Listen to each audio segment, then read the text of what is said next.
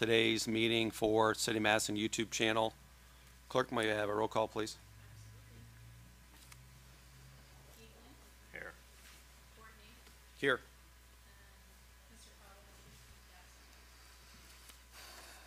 All right. um, Board, have you had an opportunity to review the minutes from the February 21st, 2023 meeting? If so, I'll entertain a motion to approve the minutes. I have reviewed the minutes and I uh, make a motion to approve the minutes as printed. Any discussion, comments? All in favor, please say aye. Aye. All opposed? Thank you. Moving on to claims.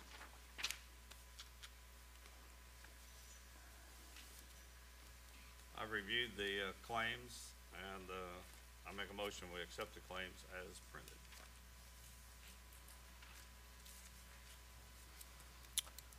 I'll second the motion to approve the claims. Any comments or questions? Hearing none, all in favor, please say aye. Aye. All opposed? Thank you. On unfinished business, we do have the absence of uh, Board Member Carlo for a death in the family, so we'll keep the Fire Department SOPs tabled, and Chief will have a conversation afterwards. Thank you. All right, moving on to new business. Uh, Brian Jackson, our Utility Director, has a request for approval of SRF disbursement requests 12, 13, and 14. Yeah, we have uh, three requests uh, for the three contractors for Divisions A, B, and C. Joe, you just want me to go through all three, and then we'll approve them one time, or? Okay. All right, the first one is uh, SRF request number 12 for uh, Dave O'Meara Contracting, uh, work at the water treatment plant. Uh, The total amount of the invoice was $74,460. Uh, The retainage amount is $3,723. The amount to be paid to uh, Dave O'Meara Contracting by the SRF will be $70,737. Uh, The next one, uh, SRF request number 13 to uh, MW Cole Construction for the water storage tank work. Uh, The total amount of the invoice is uh, $90,450. Uh, The retainage amount will be rounded to $4,523 for the SRF, and the amount paid uh, to MW Cole Construction from the SRF will be $85,928. And uh, thirdly, the re- request number 14 uh, for the water main replacements for Brackney Incorporated. Uh, The total amount of that invoice is uh, $1,268,924.47. Uh, The retainage amount for that invoice will will be $63,446, and the amount paid uh, to Brackney by the SRF will be $1,205,478. And it's, uh, the first two, like I said, were A, O'Meara was A, MW Cole was B, and Brackney was Division C.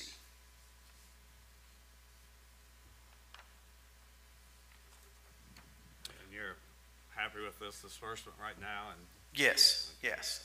We, we had a construction meeting last week uh, to go over everything that transpired so far. Plus, not only do we have to be happy, once we approve it, the SRF will review what has been completed so far, and they'll make sure, or they won't pay them either.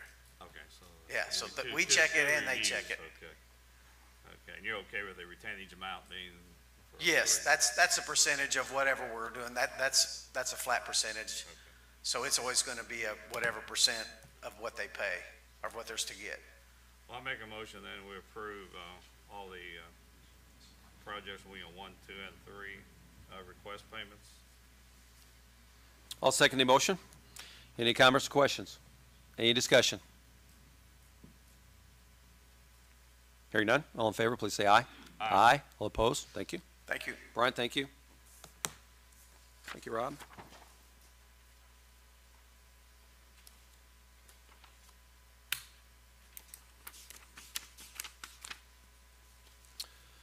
Moving on. Chief Washer, we have a request here for senior firefighter status. Want to describe that? Yep, got it. Morning. Yes, sir, in the packet that uh, you received, uh, you received a cover letter uh, stating that two firefighters, one from Station 5, one from Station 2, have requested senior status. Uh, For the mentioned uh, in the cover letter, I would request that you grant their request. They do meet the standards for senior status.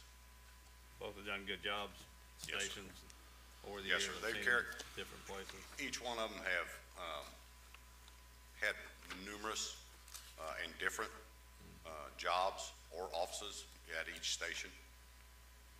And one up until last year was, uh, well, both, as a matter of fact, as until last year, were actually driver operators also. Nice careers. Uh, which stations are these for? Is it two, and what was the other one? Five. Two and five. Station two and station five. Well, I make a motion to accept the letters for the uh, firefighters to receive senior status. Uh, I second the motion and also thank them for their service, um, their active service to each of these volunteer fire departments. Any discussion, comments, or questions? All in favor, please say aye. Aye. All opposed? Chief, thank you very Thank much. you. Keep up a good job. Right, now we'll move into some resolutions. Joe? Resolution six B twenty twenty-three, a resolution of the Board of Public Works and Safety closing a portion of the alley for the grand opening of the Chandler Hotel.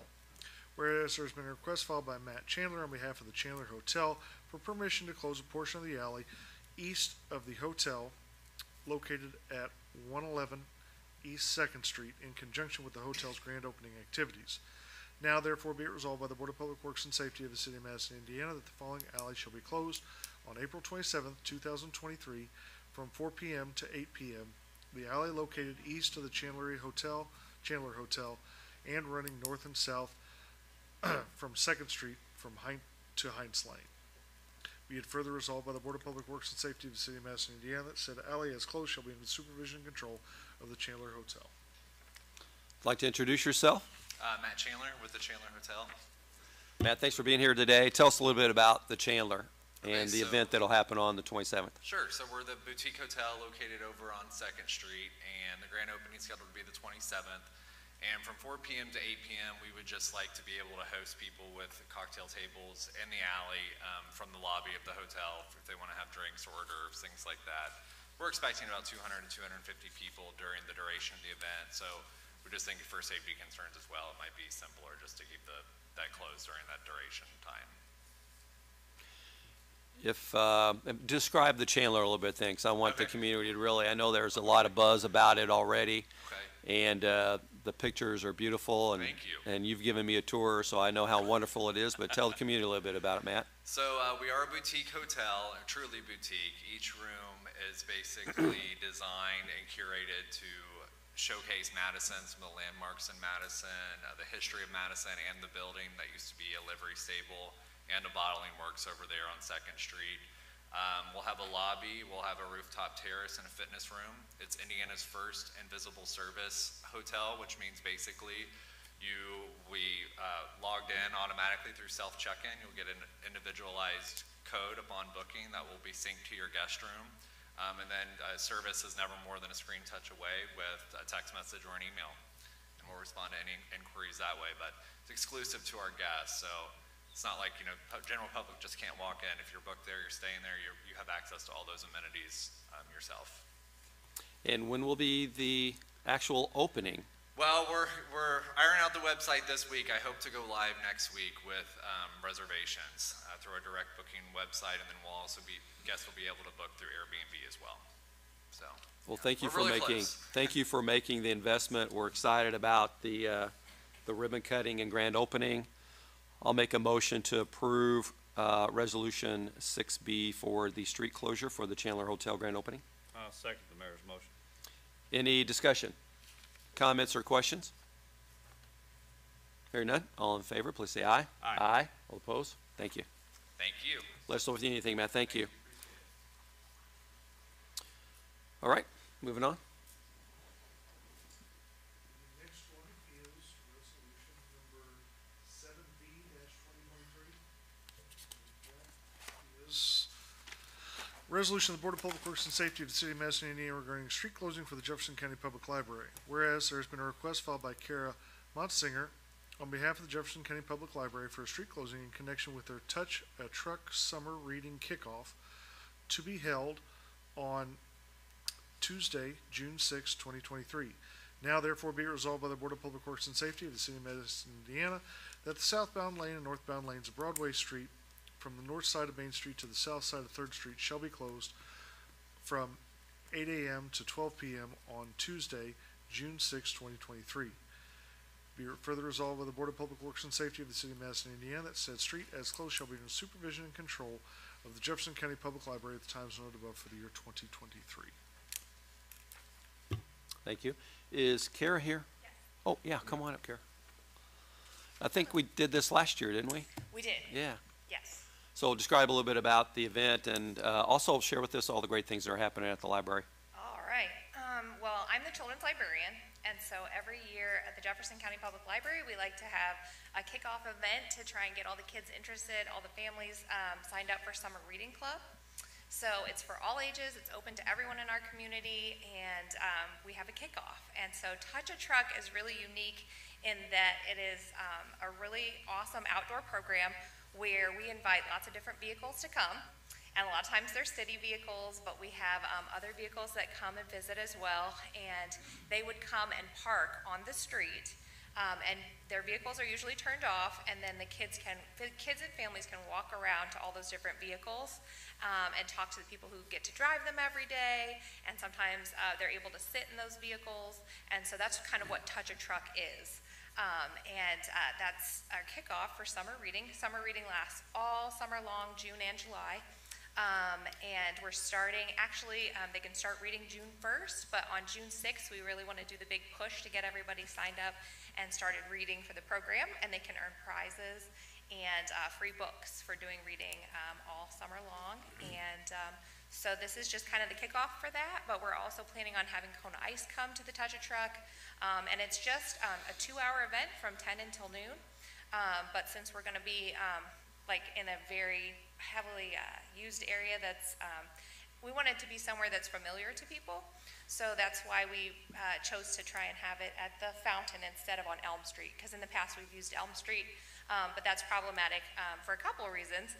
Um, then people can't really park to come in the library. And then also, um, we don't want kids crossing a lot of busy streets. So um, a lot of times people are familiar with downtown. They know where they can park to get close uh, to the fountain safely. Um, so that's kind of, it really worked out great to have it on, uh, by the, by the fountain. So. Uh, Has Chase and Marshall from the Paw Patrol been invited yet to attend this event? I think the kids would love that. They haven't, but we would love to have them. If you could reach out to Chief Washer back there and maybe coordinate, I think that'd be a uh, great time for them and also help enhance your event. Absolutely. I'll make a motion that we approve uh, Resolution 7B 2023 for the street closure associated with the Jefferson County Public Library event. Uh, second the mayor's motion. Any discussion? I believe last year the Walnut Street Fire Department green truck was the most popular, is that correct? You'll have to answer that. He's only saying that because his colleague from the number threes over here is not here today. Anyway, thanks for having it again. We're happy to participate too. So, uh, um, all in favor, please say aye. Aye. Aye. All opposed? Thank you. Thank you. Thank you very much, Kara. Take care. Next one is resolution number eight B twenty twenty-three. It's a resolution of the Board of Public Works and Safety of the City of Madison, Indiana regarding a street closing for the Life Choices Clinic Walk for Life. Whereas there's been a request filed by Lisa Perry on behalf of Life Choices Clinic for street closings in connection with the Life Choices Clinic Walk for Life to be held on Saturday, May 6, twenty twenty-three. Now therefore be it resolved by the Board of Public Works and Safety of the City of Madison, Indiana, that Vaughn Drive from J.C. Park to Vernon Street shall be closed from eight AM to twelve PM on Saturday, May 6, twenty twenty-three. Be it further resolved by the Board of Public Works and Safety of the City of Madison, Indiana, that said street as closed shall be under the supervision and control of Life Choices Clinic at the times noted above for the year twenty twenty-three. Is uh, Lisa here? Okay, I think this is an annual event that we've done, um, and it was moved to J.C. Park. I'll make a motion, uh, even in her absence, that we approve Resolution 8B 2023 for the Choices Clinic, uh, Life Choice Clinic Walk for Life. Uh, second the mayor's motion. Any discussion? I assume she'll work with the street department, and get the side streets barricaded and the ones coming in the long drive. Yep, we'll look at it, safety protocols and the event plan. Any discussion, comments, or questions? Hearing none, all in favor, please say aye. Aye. All opposed? Thank you. Right.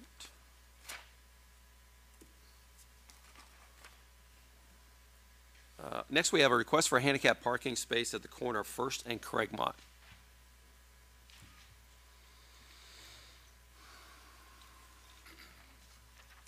Morning, Board.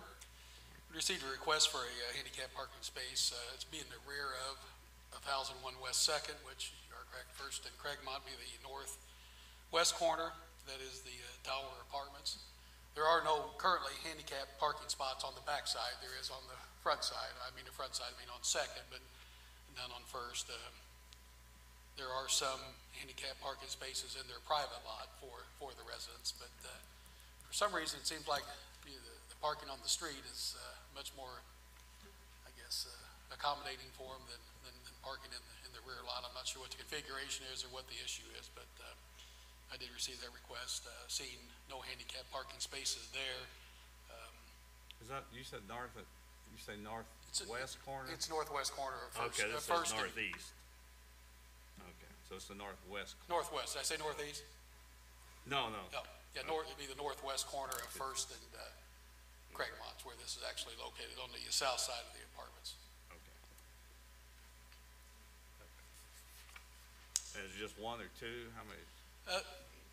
The uh, person who who lives there requested it, uh, Mrs. Sargent, uh, re- requested it on, the- at that location. Uh, I think it may have been her understanding initially that that would be her parking spot, but as I explained to her, that would be available to anybody that qualifies, qualifies for handicap and has the placard, so, um, you know, I don't foresee that being an issue there. There is none on the backside. uh, That is a, uh, as- think, a senior residence area, so that would uh, be my recommendation to uh, ask the board to approve that request. I'll make a motion we approve the, uh, request for handicap parking. Uh, Before I get to his, his motion, the parking uh, for the Riverside Tower lofts was part of a Plan Commission parking plan that included on-street and off-street parking. And I'd be hesitant to amend that plan without first working with the planning department to see if, you know, a unilateral action by the board here for uh, a uh, handicap parking somehow impacts their plan. Uh, If we could perhaps table this, take it under advisement uh, until the next meeting, we can work with our planning commission and evaluate the plan that's on file for parking for Riverside Tower Lofts and determine if this would impact that plan at all. Chief, that would be the only, Understandable, I didn't the, realize that the plan input was- here. that was in Yeah, place. that's the implication with changing the, typically on-street parking wouldn't be an issue, but when it's part of a parking plan that's approved by part, the plan commission for a residential development like that, we should just make sure we're connecting all the dots if that's okay. It So- appears they did a really good job with uh, striping off, uh, you know, especially on First Street on the south side of, you know, for uh, parking for the residents. Um, But, yeah, it's parking on the street down there is definitely at a premium. Um, And we may even entertain the thought of maybe doing that on Craigmont Street in the 200 block, maybe striping the individual parking spaces off there to, you know, to kind of tighten things up a little bit. Sometimes you get, you know, nice just- gaps, but not enough Yeah. gap to park another vehicle. Yeah, but just be, just keep in mind that there's a parking plan that was approved with that development, so anything we do on, on-street around that, uh, would, would potentially impact that parking plan, and I think we just need to coordinate with the planning department to make sure it doesn't impact any approvals they receive through the planning commission. Okay. I'll So work if we with them could, uh, I can amend my motion to, uh, just table it then Sure. for the next Okay. meeting. We have an amendment motion to table this, to research the, uh, plan commission parking plan. I'll second that. Any additional discussion? No. Comments or questions? Chief, thank you. Thank you. All in favor, please say aye. Aye. Aye. Well, thank you, Chief. Okay, we're going to um, move into a hearing now. We'll move into a hearing on the order to demolish or remove multiple unsafe structures on Mo- Moody Park Lane. Right now, I'd like to uh, ask our building inspector, Landon Ralston, our code enforcement officer, Dewey O'Neill, uh, to present the findings.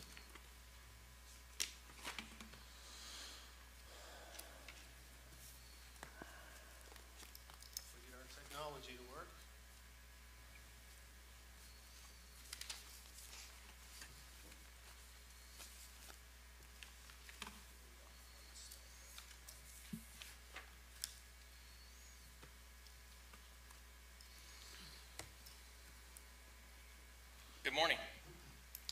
So 421 Mobile Home Park located on parcels at uh, 390, 338, or 938, 940 Walnut Street. Uh, It recently flooded in June 18, 2021, and it suffered what's considered a Category 3 water damage, which comes from flash floods. So the materials in the mobile home that were, that absorbed the flood water are toxic and did have damaging bacteria from flood water. Uh, These materials are gypsum board, MFD board. Those materials soak up water and cannot be dried out without weakening the fire and strength rating. So wall, wall wall cavities will hold mold if not removed. Uh, So when I inspected these structures in August, uh, all but one of the ones that we're talking about today were vacant. So in order to recover from a flood, you had to dry out the mobile home as soon as possible, decontaminate the mobile home as soon as possible, and like I said before, materials that are almost never salvageable because they cannot be decontaminated, decontaminated are sheet, rock, insulation, and MDF board. So mobile, 421 Mobile Home Park is in a floodplain. Uh, I'm not trying to, can you tell us exactly which units you're making a request on? Or are you gonna get to that? I'm gonna get to it Okay, I apologize. in just a second, Joe. Okay, good deal. 421 Mobile Home Park is in a floodplain. A floodplain is defined as an area adjoining a river stream that has been or may be covered by floodwaters. So IC 36-7-4-1019, which is remedies, enforcement, nonconforming use of variance, burden of proof, reconstruction of nonconforming structures, permitted and conditions, and certain reconstruction that is not authorized. Since 421 Mobile Home Park is uh, in the historic district, it is a non-conforming structure, and it cannot be, repairs or reconstruction cannot be made, since it's in a floodplain. Um, The units that we are talking about today are 401, 407, 408, 413, 414, 419, and 420 Moody Park Lane. So some of the violations that we saw during our uh, visit, this, this is for all of them. Exposed electrical cables, uh, insufficient service panel clearance, open front or open face receptacles, inadequate water supplies, inadequate sewage disposal, improper connections to the sewer system, inadequate smoke detectors, blocked exits, improper maintenance, improper use of extension cords, improper water heater installation, and missing G- GFCIs in bathrooms and kitchens. So the first one, 421 Mobile Home Park. And all, the unsafe determination is from our unsafe building law, or unsafe, uh, um, unsafe building chapter, 145.103. The letters referenced here correspond with the unsafe building law or unsafe building chapter in the uh, city, city code. Uh, So to start off, 401 Mobile Home Park, C stock, talks about structure, structural, so frame anchors, uh, that's ICC AE 604.1 and 410 IAC 6-611. Um, So whether they have them or not, they've been in a flood, the owner must prove that they have a capable, capable of resisting allowance working load of 3,150 pounds. So H would uh, be talking about exposed equipment.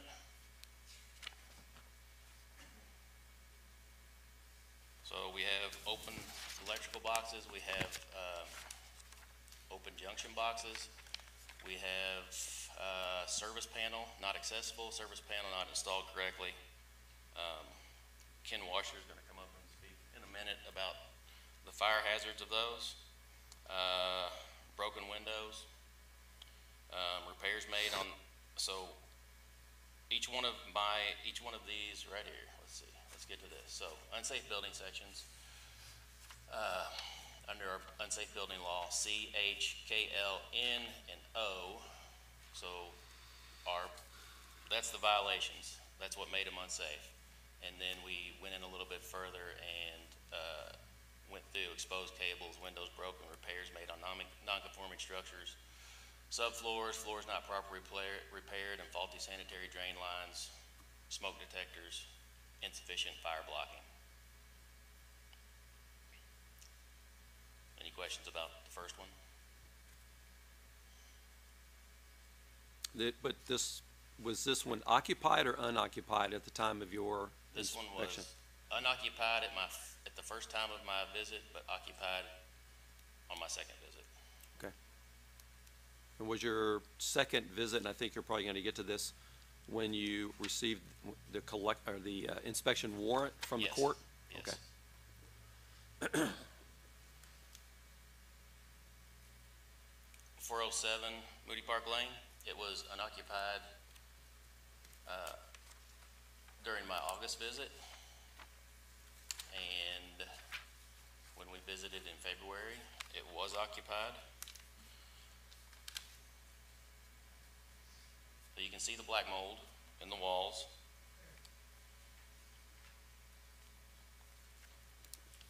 Insufficient water supplies, insufficient sanitary lines.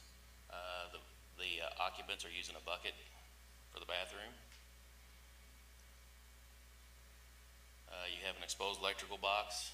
This, uh, this unit had a cord running from four oh one to power four oh seven. So there was not, the power wasn't on on this one. You have open, open face electrical boxes, open panels, open floors.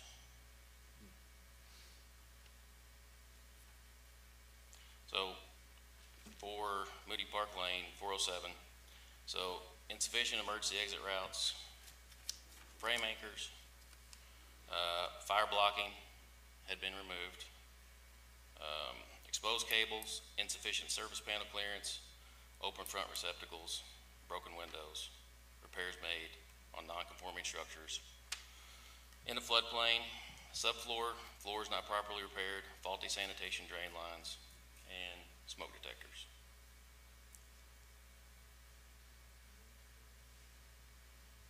Any questions on this one? Hmm? He will. Four oh eight, um, this one, this one is abandoned also. Uh, They had started demolition on this. I'm not sure what the plans were to finish it or remodel it. But again, it's a mobile home, non-conforming structure located in a floodplain, which reconstruction, repairs are not permitted.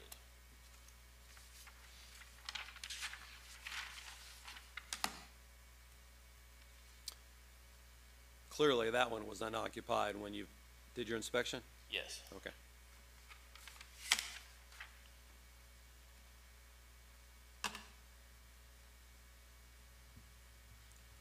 Four thirteen, unoccupied as well. So emergency exits, frame anchors, broken windows, exposed wiring, insufficient fire blocking. The means of egress, egress are screwed shut. This one, again, this one was vacant. There, the floor repairs. Any questions on four thirteen? Uh, Did, do all of these uh, mobile homes have the frame anchors, or, or is the concern they're not capable of resisting allowable, you know, working load? Are some of them missing the frame anchors? Since they've been through a flood, they need to be tested to see if they are. Some of them are missing, yes. Some are, okay, some are missing, and some are there, need to be tested, okay? Okay.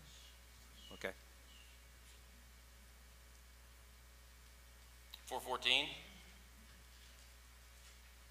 Uh, frame anchors, and uh, again, it's only on there because it's been through a flood.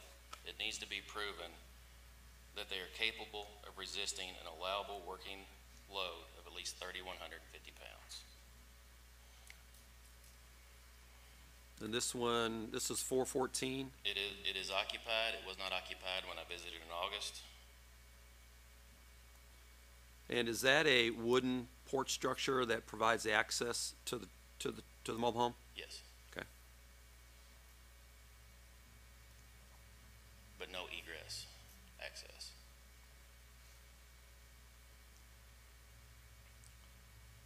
So we have exposed cables, uh, insufficient receptacles, ex- exposed electrical panel, uh, insufficient service panel clearance, insufficient fire blocking.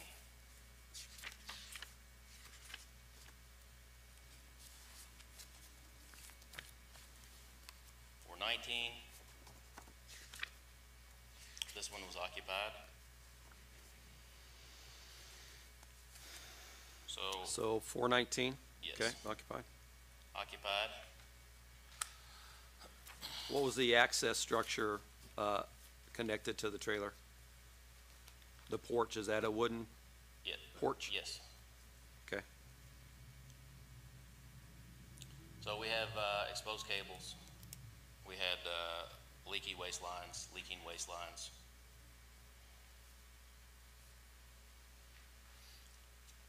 We have mold. Uh, insufficient service panel access, not properly installed. Broken windows. Um,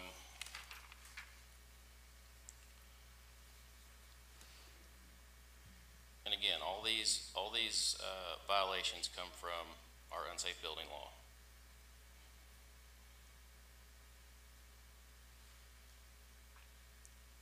This one, the owner let me in while I was putting in, putting up stop work orders. So she had told me that she had been living there two months and uh, had just received uh, water two days prior to me visiting. And this is something that the Indiana Department of Health, mobile home parks, uh, monitors. Is having sufficient water supply and waste lines. Four twenty Moody Park Lane, uh, occupied.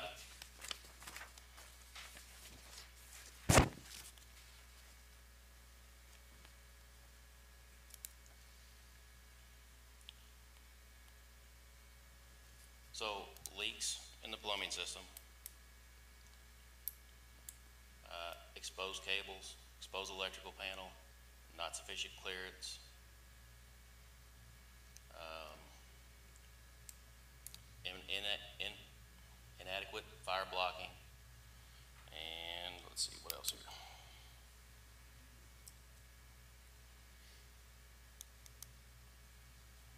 That's it on that one.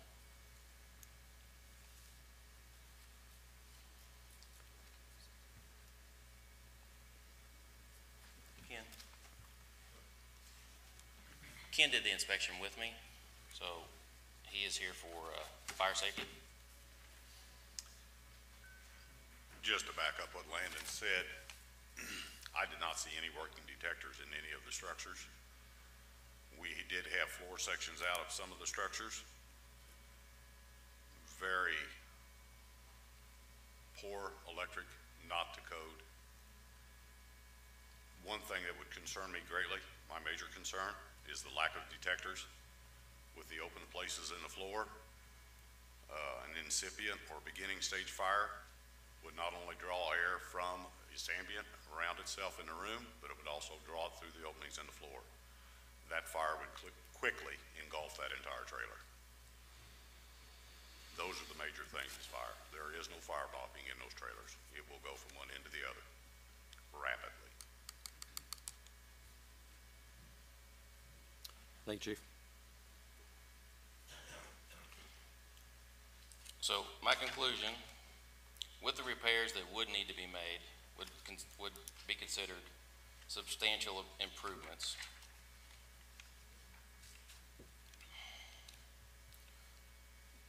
But they would not be permitted because of Indiana Code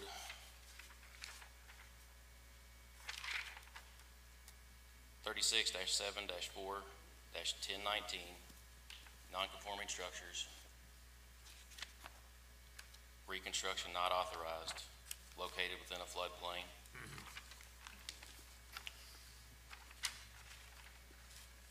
And with its recent flood in June eighteenth, two thousand twenty-one, um, the impact that a floodwaters do to a mobile home with the MDF board, the gypsum board, the wall cavities, that would, that would be considered substantial improvements, not to mention the electrical systems and everything else that would require improvement. Uh, On a uh, floodplain or a floodway management note, uh, the ground elevation at Moody Park is four seventy-seven point eight feet. Base flood elevation is four eighty-two point seven feet. What was the, what was the last number for what? Four eighty-seven, four eighty-two point seven.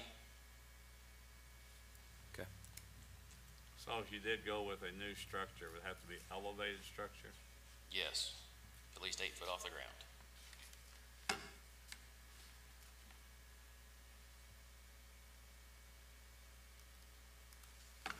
Uh, Do you have another slide with your conclusions in it? I know you probably went through them, but I do not have another slide. Would you mind reading each, each bullet point of your conclusions, please, into the record? Absolutely. So, four twenty-one Mobile Park, Mo- Mobile Home Park, like I said earlier, was flooded June eighteenth, two thousand twenty-one. Exteriors were inspected on August twenty-fifth, two thousand twenty-two by me, the building inspector, and Dewey O'Neill. The owner was notified of the unsafe stat, unsafe status on September eighth, two thousand twenty-two.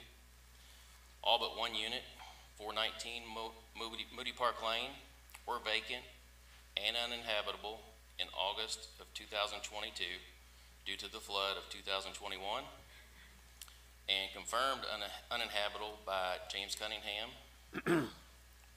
Reconstruction began between September 22 and January 2023 without author- authorization from the city.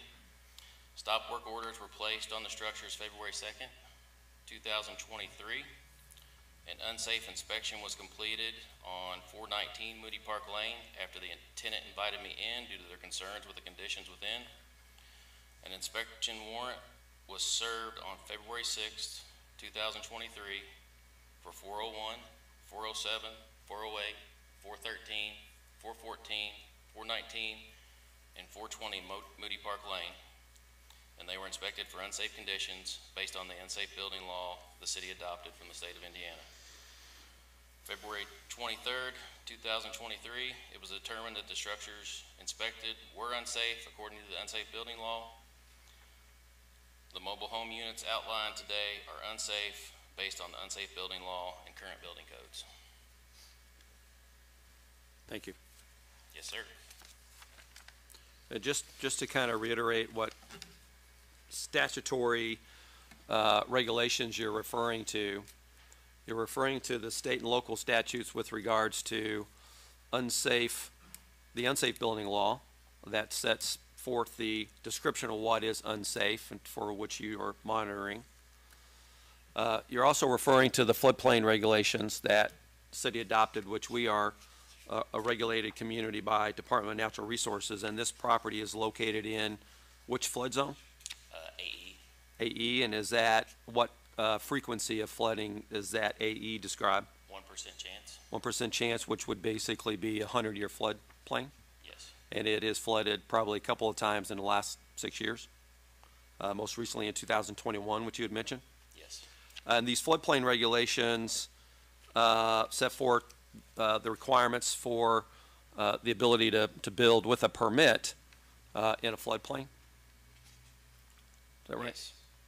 And then, um, in addition to that, there is a state statute with regards to uh, the abatement of vacant structures and abandoned structures, but more particularly, there's um, statutes with regard to the health, sanitation, safety of the dwellings unfit for human habitation. Have you reviewed that? Yes, And uh, in that statute, what it says is a dwelling is unfit for human habitation when the dwelling is dangerous or detrimental to life or health because of want of repair, defects in drainage, plumbing, lighting, ventilation, or construction. uh, or the existence of the premise in an unsafe, uh, unsafe and sanitary condition. And then the adminis, did you look at the uh, Indiana Administrative Code for Mobile Home Community Sanitation and Safety? Yes, That particular uh, reference for which the permit is uh, reviewed for mobile home communities requires well-drained sites and areas free from flooding. It also talks a lot about the tie-downs, the safety tie-downs. And then further, it talks about all wiring and lighting fixtures have to be installed and maintained in a safe condition. And then I think the last thing I want to mention about, about that is, uh, the ground anchors we've talked about, and sanitation. Oh, yeah, and the hard surface area constructed of concrete, stone, or masonry shall be provided for each mobile home, uh, and to provide a base for steps to the mobile homes or manufacturing. Uh, That's why I was asking about the wooden deck, decks around many of the units, if it complied with the Indiana Administrative Code with regards to access, uh, providing base steps for the mobile home or the manufactured home. Hard surface walk shall connect the steps with the road, driveway, or parking lot. Are there sidewalks, no, uh, from the entrance to the trailers to the, no. to the roads? Okay. So it looks like there's quite a few state, state and local statutes that you've, uh, reviewed and, and, and then, of course, going to, uh, the Jefferson County Courts for an inspection warrant allowed you legal access into all of these units, is that correct? Yes, Okay. Mayor, I think probably we'll invite. Yep. Mr., the owner up, and he can present evidence at this point in time, um, with regard to the, um, information that's been presented by Mr. Ralston. Thank you both. and we'll have, we'll have one more structure after this. Okay. Uh, Mr. Cun- Mr. or Miss Cunningham? Yep. I'm Gail Cunningham, I'm James's wife. Hi, Gail. Four of the mobile homes were mine. None of the warrants or anything else had my name on them. They're not in his name, they're in mine, they were premarital property. Um, We also wanted to be taken off the agenda today. We have not had time to go with our attorney. We received the letter on Friday, we're told it's gonna be today. Our attorney is in the hospital, Carl Becker. He is getting out this afternoon, so we wanted time to discuss with him. We had one, the first trailer, four oh eight, was being demolished. Got a pink notice on it, we were told to stop demolishing it, even though they told us to demolish it. We, we have it down to walls and the floor footers is all that's left in there. They told us to stop, this- we were gonna have it done within a week. They Did us to you stop. request a demolition permit for that? No, they came in, they came and told us it needs to go. You were demolishing it before they came and asked you to Yes. stop work? Right. Okay. And we wanted, we were trying to get it out because people kept breaking in. We were trying to Okay. get it out and they said, stop. So now it's still sitting there. It looks worse than it did before. Um, We also don't want it, want this, it gives the appearance of we're being railroaded because it happened so fast. They, they did come in June. We got a report in January. We had nothing in between. He came in and, and took pictures. We have the pictures on the notices without permission. He just walked in. He, he went in sheds, went in buildings, Nobody got permission. I have never received anything in my name, even though I own four of them. The tenants' names were not on any of them. They, they, he had them just open the doors and walk in. Some of the tenants were home, they didn't give them time to knock, just walked in. So Uh, Just, um, just a question. You, you indicate you own four Four. of. The mobile homes, yes. You own the trailers Of the trailers, themselves? yes. Yes, Okay, and you, you've got a title with yours? yes, yes, my name only, yes. Is I the- bought them around six years before we married. Okay. I, is the land owned by? He owns all the land, we split, he gets the lot rent and I get the trailer rent, we split, Okay. we charge it separate. So what we're here talking about are, is really the, a mobile home community license that is certified or given to Jim Cunningham Yes, for we get it four twenty-one every Mobile year. Home Park. And, um, the statutes and administrative codes apply to the operator of the mobile home. Okay. I mean, so, well, I guess let's. Yep. Are you, are, are you asking for additional time to talk to your Yes. attorney? Yes, Okay. because we have, talk to And- the and health you- inspector. You're and- indicating you received this notice on Friday? Yes, Is that, did you receive it by certified mail? I think it was, yes. Is that accurate when they received it? It was the envelope that has the green across the back, the green stripes on the back. But- We got it Friday, yeah. But they just received it Right, Friday? and the first warrant, they came, we received that warrant two days after. Yeah. They, they brought the warrant by hand, and then we received it two days later in the mail. So we had no, no notice they were coming. Yeah, that, that one you don't have to. But on, on February the 23rd, Mr. Cunningham received a letter from the city of Madison describing the, the multiple unsafe structure violations on each of these units. And I'd also like to say, most of these people moved in in October. They started moving in, we gave them first month free. They started, we've had floors redone, some of the, some of them, we have three now that have hardwood floors.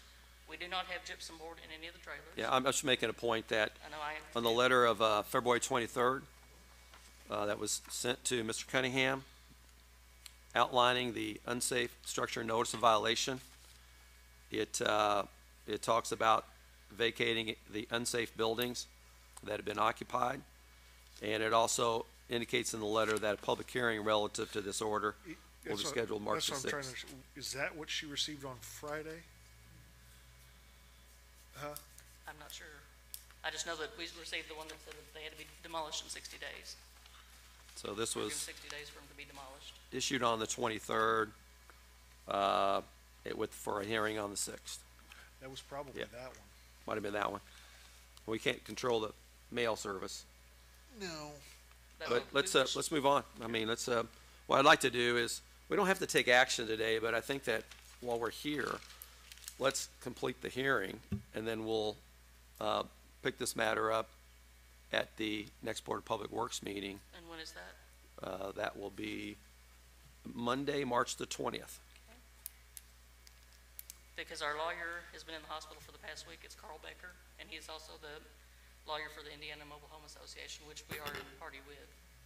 Okay. And these, the people that have moved in have been, have been doing repairs as soon as they moved in. They're, the, all have tie downs. There are different types of tie downs. Some are not the strap that go across the top. Some are the bottom, that go into the anchors that go into the bottom, but they all have the anchors. But you're, you're saying people are living in the mobile homes that that we've cited as There's- being unsafe. There's the one that we're being torn down, and there's another one that's empty. Which ones, uh, are- have occupants in them, Mrs. 401 Cunningham? 401, 407, uh, 413 is empty, 419 is, has someone in it, uh, 420 has someone in it, uh, 414 has someone in it, 401, 407? 420, 414, and Maybe, 401. maybe, okay, so let me go back here. 407 401, 407 are occupied. Right, four, four oh seven is the, oh, let's see, no, four oh eight is the one that's being torn down, four fourteen is empty, or four. Four oh eight, four thirteen are. 408, 413 are empty. Which one is Jerry's? Which one is Jerry's? Four thirteen? Four thirteen is also empty. And they, ha- the floors have been taken out and replaced. They have been working on the electrical. The wiring has been redone, water has been redone. They just hooked up, uh, electric in four oh seven. Electric company came and inspected, hooked up electric and water. Who's doing your electrical? I'll let my husband speak to that point. Okay. Maybe at the uh, podium, please. And you are, sir? Jim Cunningham? Hi, Jim. Are you certified to do electrical work? No, I don't have to be. I'm the property owner. I thought she was the property owner, some of them. She's the property owner of the mobile homes, four mobile homes, yes. So But have I'm you the, done work inside the mobile homes? do what now? Have you, have you been doing electrical work inside her properties? Some of them, yes. But you're not licensed to do that? No, I'm not, because under Indiana law, the property owner can do their own work. But You own the ground and she owns the homes? She owns four. There, there's a total of twelve spaces that's licensed. Okay, Thank you. Okay, and, uh, I need to let, uh, my lawyer argue this, but, uh, at any rate, I understand the mayor met with uh, Mrs. Rowe from the Indiana Department of Health and his team. And, uh, I had a conversation with Mrs. Rowe, and essentially, she was talking about the rehabability of mobile homes. That's why FEMA, they're nothing but a steel box. That's why the uh, FEMA uses them for uh, flood rehab areas and things like that. And as far as she was concerned, everything was gold. And she represents the uh, Indiana State Department of Health. And I basically got uh, pretty much a clean bill. And as far as any structural problems, uh, to my knowledge, when the inspection took place, uh, it was all cosmetics, cosmetic driven, uh, and was not, uh, and structural, whatever, wasn't even addressed or looked at. Are you referring to Ms. Rowe's inspection of the property? I'm not, I'm referring to uh, your building inspectors Okay. and your fire marshals and your chief of police, I believe, was along for the ride. But uh, in my opinion, I did, uh, on a mobile home, the structures, uh, integrity is basically the frame, the steel underneath. And at any rate, under federal law, as I understand it, uh, those homes are grandfathered under whatever building codes pre-existed at the time of their manufacture, which I don't know, will probably be from the late sixties on up into the, uh, on up into the eighties. And whatever HUD or whatever had on the books at that time, and that also includes the remodeling and rehab.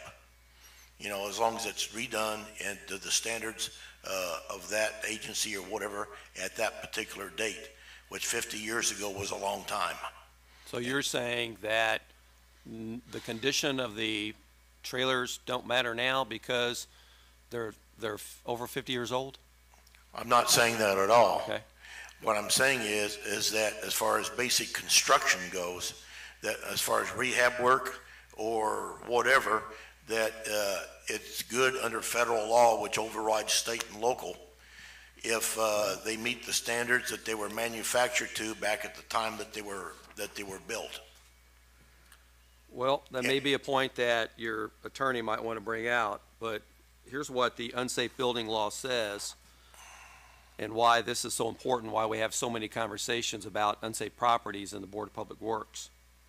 First, that statute defines what is, what is unsafe, uh, and there's multiple provisions in there. But here's what, here's the policy behind it. And, uh, this is what the state of Indiana says and why we also believe it's so important. In recognition of problems created in a community by vacant structures, the General Assembly finds that vigorous and disciplined action should be taken to ensure the proper maintenance and repair of vacant structures, encourages local government bodies to adopt standards appropriate for community uh, in accordance with this chapter and other statutes. And, um, you know, we have, we have standards that aren't being satisfied in this unsafe building law um, that our building inspector has identified in his findings. And there is some overlap with regards to, you know, who regulates the mobile home community and the Department of Health, Indiana Department of Health and their environmental section issues the permits, but that does not, um, subrogate any, any of the city's rights to enforce our unsafe building law or our unfla, un, I'm sorry, the floodplain regulations, or if it's determined that any of the dwellings are unfit for human habitation. So there, there is a permitting process over there, and they do, they do a cursory inspection candidly, and then what we have done, uh, through the courts is done a more thorough inspection that, that Ms. Rowe has not done. Uh, that's why we're, that's what's brought us here today, Mr. Cunningham. Hey, Mayor. I, I under, Can we hit the pause button? Yep. Since I need to be here for all this, I need to use the restroom. Okay. real Quick and just kind of hit a Take pause. a five-minute break.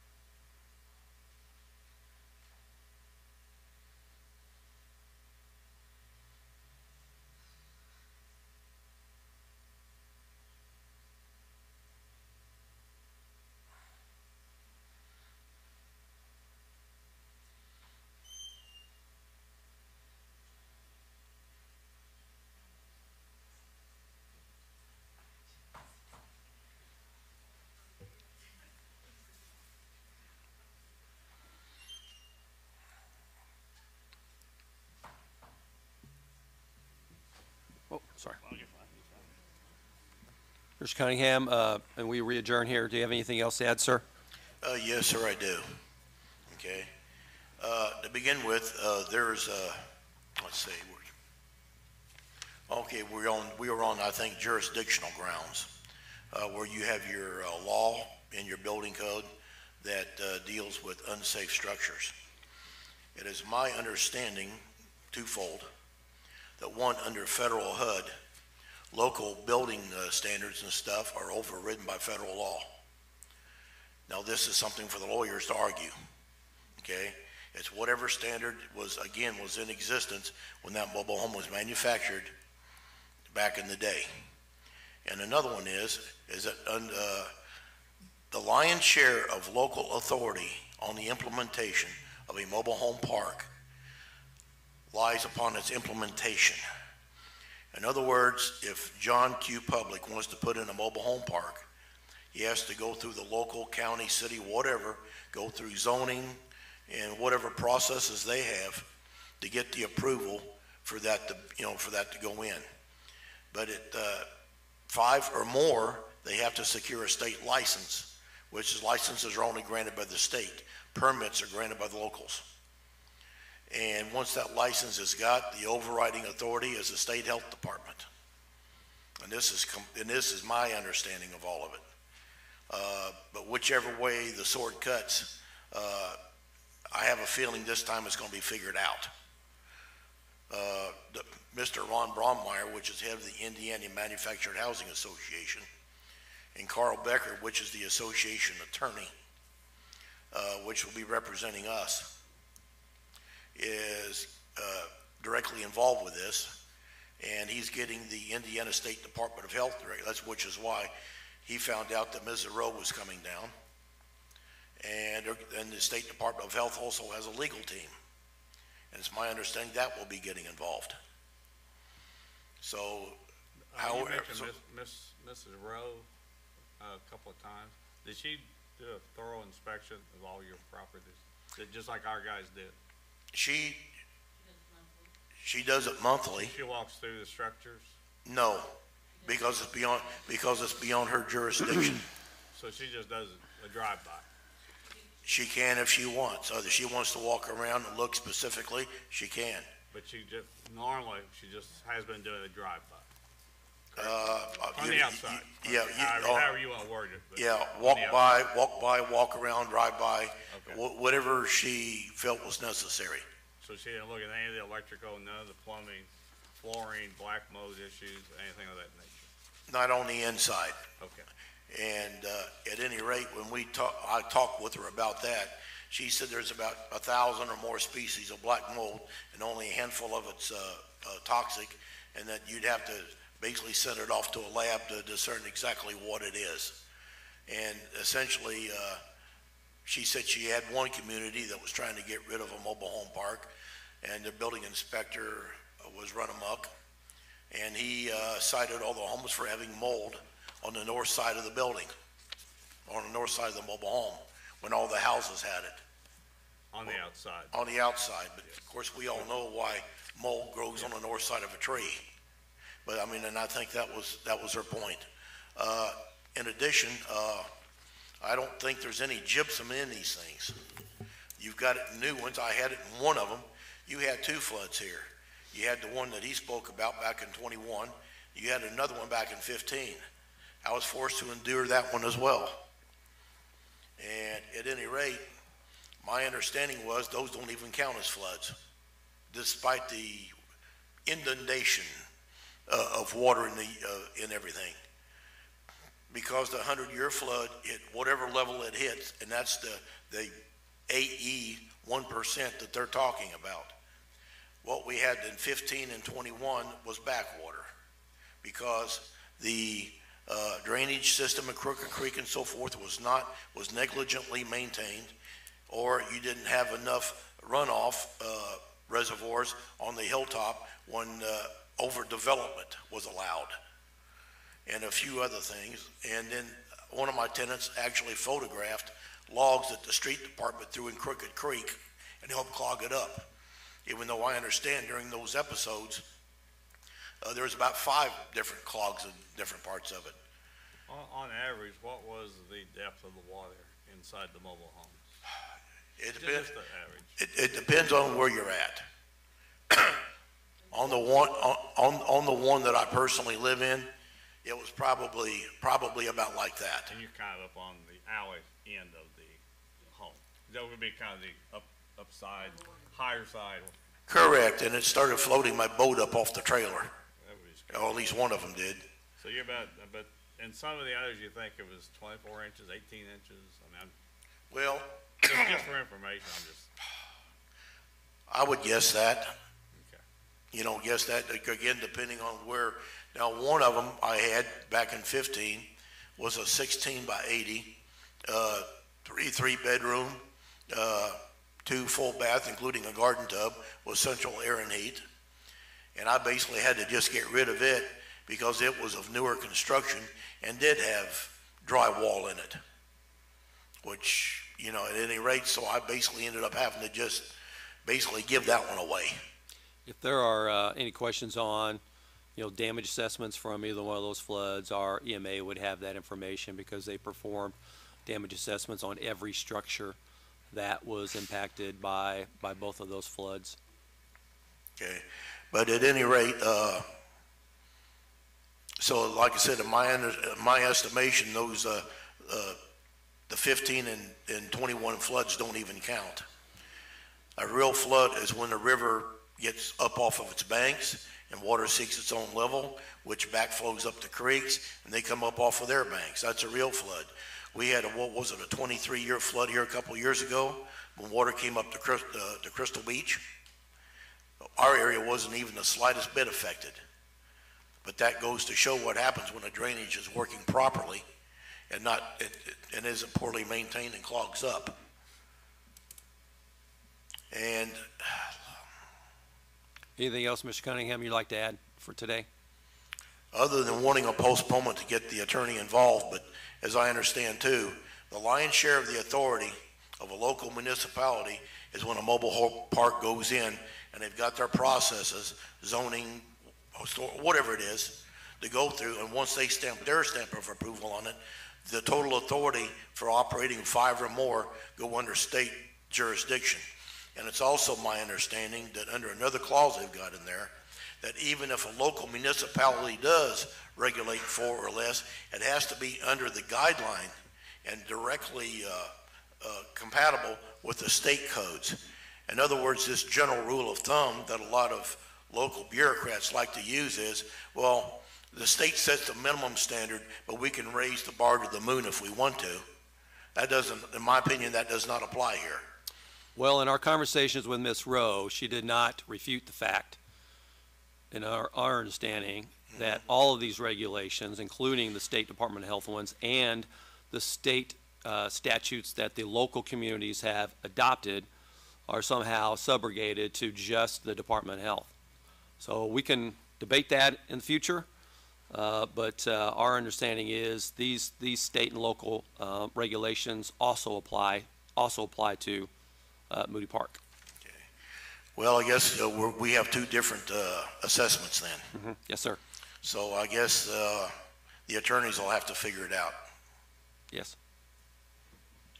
Thanks, sir. So do I anything get, else? so do I get the extension to? Well, I'd like to see if there's any additional testimony from today, and that- while we're still uh, in the hearing. Thank you. Thank you, Mr. Cunningham.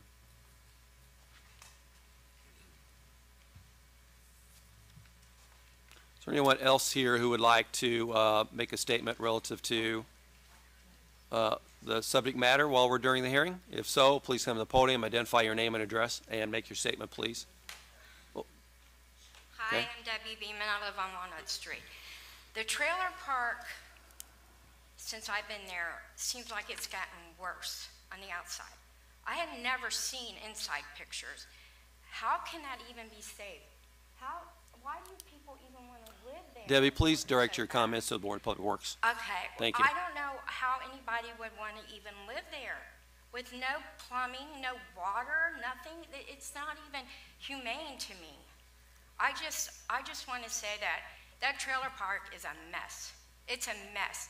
I don't know. Money is not put into that trailer park, and this is a part of the problem with people who own places and don't put a dime in them. That's all I got to say. Thank you, Debbie. Uh, Yes, sir. I'm sorry, what was your name, sir? I'm, I'm sorry, it's, uh... Hey, let's have order, please. Order, please. Thank you. My name's Harold Dyer. I live at I'm sorry, could you repronounce your name, sir? Harold Geyer. Harold Geyer, Yeah. okay? I live at 401 I was in the process of changing that outlet. If you'd bring your picture back up, the coil wire that you saw in the closet was just a coil wire that came out of the old trailer. Right, that was, that, that has nothing to do with anything in the trailer, wasn't attached to anything. Okay? The outlet that was in the bathroom, I was putting a GFI in the trailer because there wasn't one in there when they melted, when, when they made it. I was, I was upgrading the trailer. I put all new floors in there. I've done all the walls, all, all the plumbing. I have one copper wire in there, or one copper piece of tubing in there that I haven't replaced yet. That, it is ridiculous. I mean, it, it's, Are you a resident there, sir? yes, sir, I am. Okay, are you a licensed electrician? No, Okay, I'm a contractor. I, I'm a subcontractor. I've been doing this for thirty-five years. Okay. You know, Wait, wait. changing an outlet isn't going to, you know, Which address do you live at? it's the 401. Four oh one, okay, sorry. I'm the pictures that he showed, and and as far as broken windows, I even told the gentleman that some guy parked his car in front of my house, and the, whoever was looking for him thought he was in my house. I wasn't even home at the time. And he threw, and he broke my windows. And I was trying, and I was, no, I'm replacing it. Yeah, I've, I put all new floors in there. There's no black mold in there. There's, as far as structure sound, I don't see where they get, there's anything wrong with it. You know, I, you know, it's, it's, it's kind of ridiculous what they're doing, but I, I think we, never mind, I ain't gonna say that. But thank you. Thank you, sir. Uh, yes, please come to the podium. I live at four twenty Moody Park Lane. And what's your name, sir? Aaron Bender. Aaron Yep, Bender. Minder? Bender, B E N D R. Aaron Bender? Yep. Okay. And where do you live at? Four twenty. The pictures you guys say is the electrical hazard, is the uh, breaker box cover off. I was in the process of changing a breaker that blew. As my understanding is you don't have to have a, you don't have to be a licensed electrician to change your own breaker, correct? Are you the owner of the uh, building? No, I rent Okay. it. Okay. And Miss, you know, Miss, Miss, Miss Gail and Mr. Jim is more than courteous. Mostly, most of our residents that live in Moody Park, they'd be homeless if it wasn't for them. You know, yeah, the residents do sink money into it to fix it up, but Miss Gail and them take it off their rent. And if we need something, they're more than generous to pay for it. They have no problem with it at all. And as I understand, you guys are saying that you have to have a permit, correct, to work on them? But in your guys' code, uh, structures, when I looked up the stop work order, it says a handyman is, does not have to oblige by the same permits if it is under five hundred square, five hundred dollars or a thousand square feet, correct? Uh, gonna have to ask the question of the building inspector. I don't know the answer to that. But, but your guys' thing says a handyman is not, uh, paying, uh, does not, not, does not have to, have to have, does not have to, uh, abide by the same laws. You don't have, you don't have to have a, a, a. No, I'm a handyman, and I'll write him a receipt, I'll, I'll write him a receipt for it. No. Oh, yeah, here it is. Uh, Believe a building permit was required, wasn't it? Yeah. Yeah. Could you please, uh, turn your mic on, please? There you go. Thank you. It says a handyman is not uh, obligated to, uh, he- he- he's not, he doesn't have to uh, get, have permits like a, a, a professional would. Well, I- believe the building inspector was stating that if the value of the work exceeds a certain dollar amount, a building permit is required. Proper price fluctuates depends who's yeah. doing it. Excuse me? The price fluctuates on who's doing it, correct? You may get one bid from one person, it's higher than the other, right? Well, sure, that could happen. A handyman- Yes. Come, come to the podium if you don't mind, Landon. Thank you. All that section is referring to is he doesn't have to be registered as a, as a contractor. Contractor, gotcha, thank you for the Thank you. clarification. Are there any other uh, statements to be made for the Board of Public Works and Safety? What's your name and address, sir? My name is Gordon Van Vleck. I was going to be the one moving into, I believe it's 407. Uh, They had the bucket and stuff that they showed in the pictures was from us going in there and cleaning out the toilet which had been left to set like that for some time after the flood. We also were repairing the floors and the rest of it, the mold stuff had been, there was some mold on a couple of spots in the walls. We've cut all that out and we had to stop repairs because of the stop work order. Uh, They have been supplying all the materials for us. I've uh, actually done quite a bit of work on that place. There was a lot of things in the way for them to actually take any pictures because no one had actually moved into the place yet. They just started moving stuff in. So they couldn't actually access the walls and see what was really done in there. They did take a picture of the one floor that you saw that was open, and that stuff had been repaired. You know, of course, we stopped right there. Um, so I don't know how they could do the repairs without, you know, you got a stop work order, and, and they have been repairing them. I, uh, I don't see any, uh, mold issues like they're talking about. There was no mold issue in that trailer. I, there was two spots that we cut out. I mean, it's still sitting there the way it was. If they can't do the repairs, how can, how can you, uh, remove the mold, remove, you know, your unsafe conditions if you've got a stop work order? They were doing everything they could. They got people off the street. You know, they, they, they are providing a, a low rent housing for people, which it's impossible for somebody who's on social security like me to get into an apartment downtown. And, you know, because you don't have the money to do it. You're living basically month to month. You get a check every month, you, and you two or three thousand dollars to move into an apartment downtown. I don't know who has two or three thousand dollars every day, but I don't. I mean, I'd looked for the last year to try and find a place that was low enough rent to get into. Gordon, what was your last name, sir? Van Vleck, How do you pronounce that? Van Vleck, Yes. cap- capital V, both times.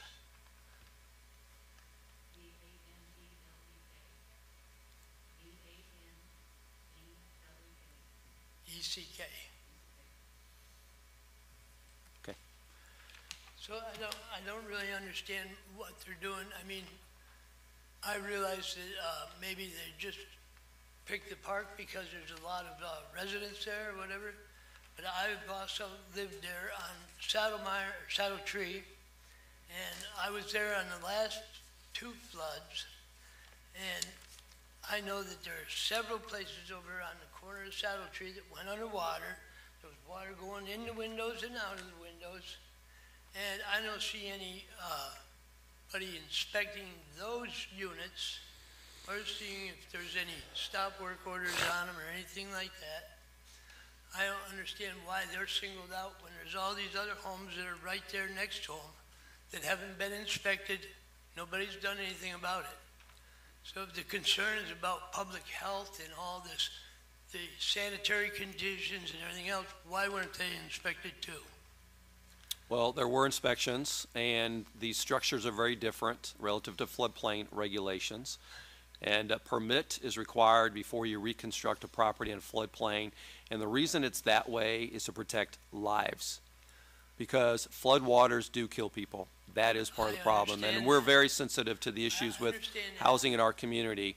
But we also have to make sure that the housing is safe and sanitary. Do you have anything else to add, sir? asking is Why weren't those units checked too? They're, they're mobile homes.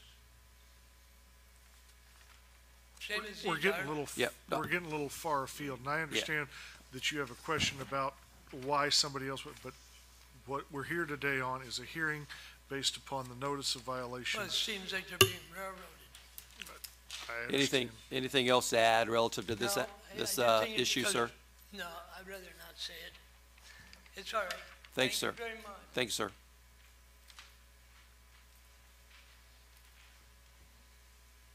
Anyone else like to uh, address the board?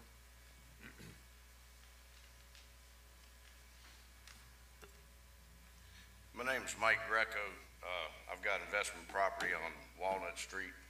I came here five years ago, and the mobile home park was, uh, had water up to the trailers, they were flooded, uh, and then it happened again.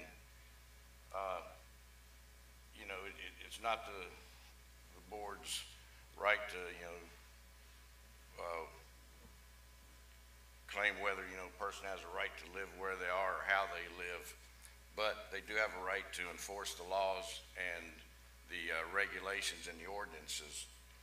Um, You know, Mr. Cunningham was right in talking about FEMA taking trailers and using those trailers uh, when there is a flood, but in the context, and I think you'll agree, FEMA doesn't take a 1960s trailer that has code violations and put it in a place and use that for the residents.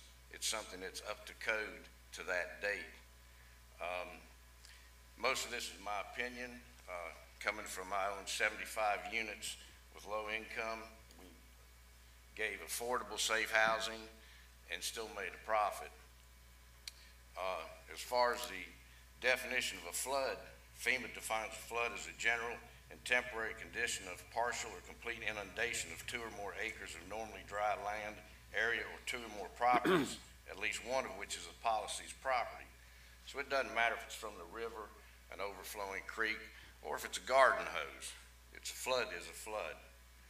Um, I did all, most of the work on my own with the property I owned, as long as I didn't turn it into a commercial piece of property and rented it out. You have specific ordinances for that. It, it goes from being a private property to commercial. And I just ask that, that the council here, uh, looks at the regulations and enforces them.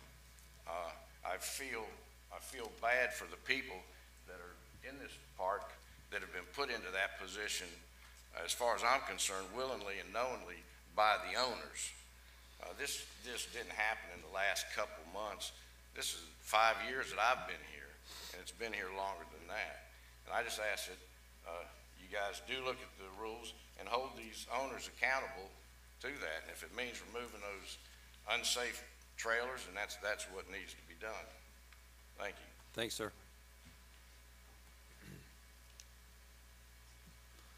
Any other uh, statements for the record in today's hearing with regard to Moody Park?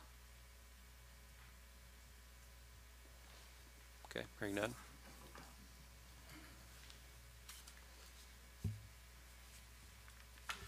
So, based on the notices that you sent on February the 23rd, would you just repeat the request you've made in the unsafe structure notice of violation and the date of the public hearing you sent on February 23rd?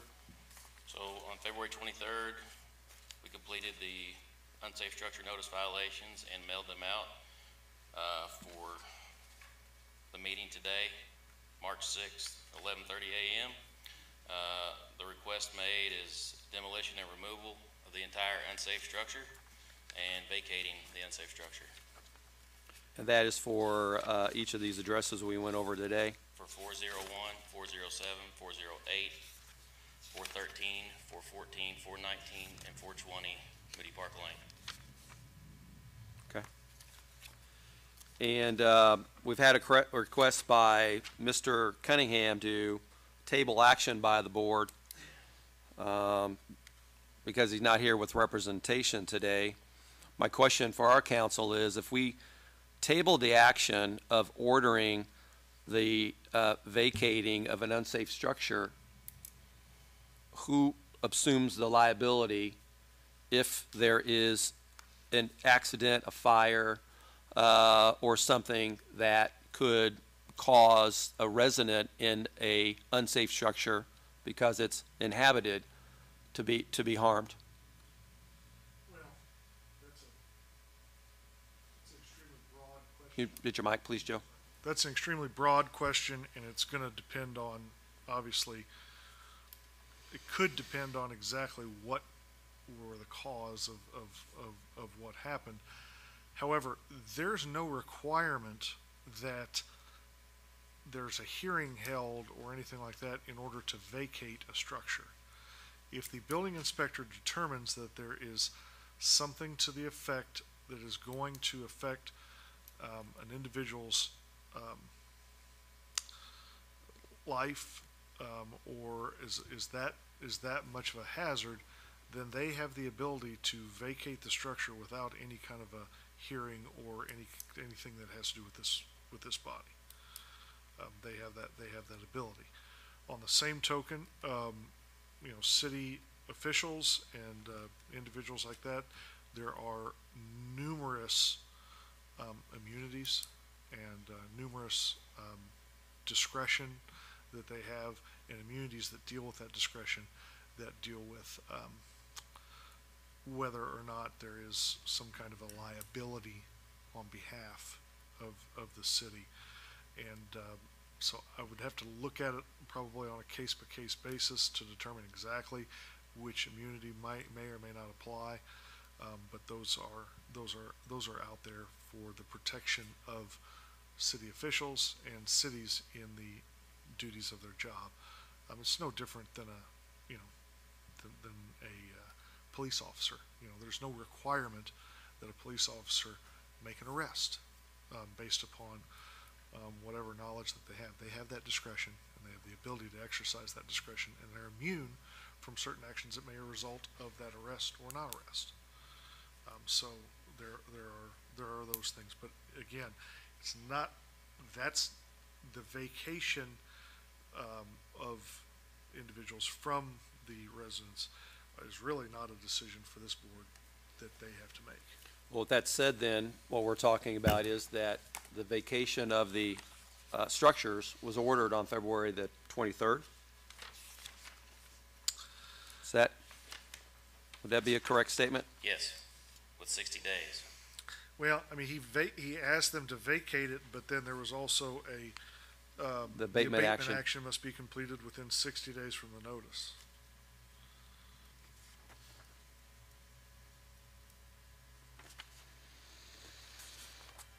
So, as what we have here then is, uh, in order to vacate the properties that are unsafe, and then you have 60 days to abate the structure. Is that correct? I think it could be, uh, I think it could be viewed as such, if, if that's the way that the building inspector wants to, wants to look at it. Lennon, is it your interpretation or understanding or intent relative to your, hear- your letter of unsafe structure notice of violation of public hearing on February 23rd, where you cite the reasons for the unsafe uh, aspects of the residential structure and uh, uh, order it to be vacated within a 60-day period for the uh, abatement? Yes.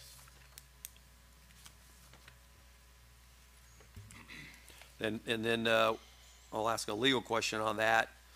Uh, if, uh, that stands, because that's your order, so that stands in my opinion, uh, then Mr. Cunningham can, um, appeal, appeal that order.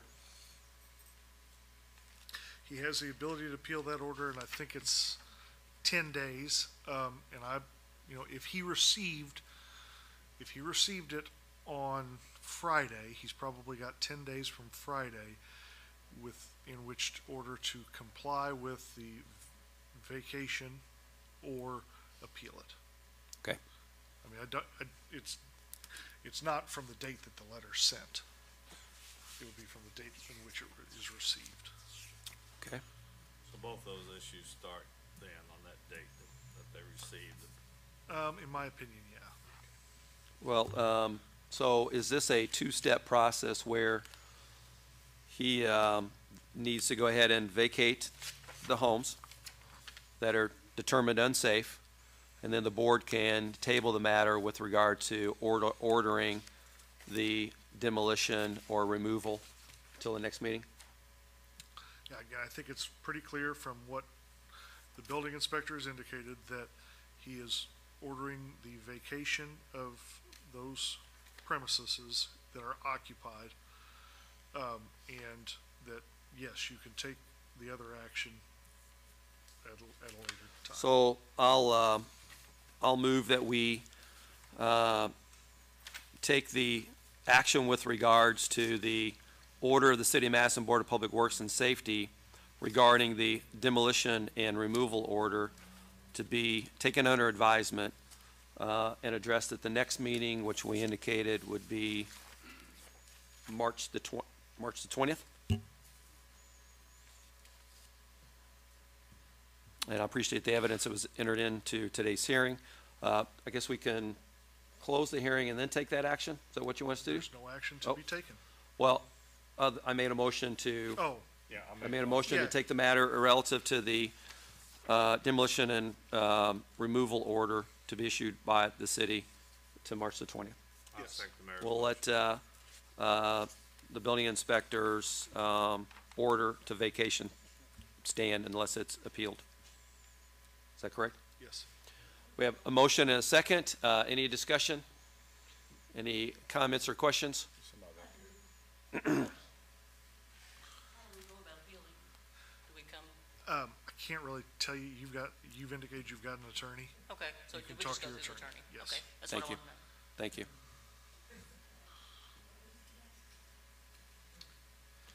Anything else on the matter of Moody Park? Nothing on Moody Park. Let's move on. Thank you. Any addition, oh, well, wait, didn't we, already- all in favor, please say aye. Aye. All opposed? Thank you. Aye, thank you. All right, moving on to another matter, okay? Okay, this is three twelve Jefferson Street, uh, order to, um, repair and order to clean up the, uh, foundation that was left behind after the last demolition. Wow. So what we have is a standing wall on the north side, a half standing wall on the south side, no wall on the east side. Uh, foundation uh, goes back about hundred and twenty foot.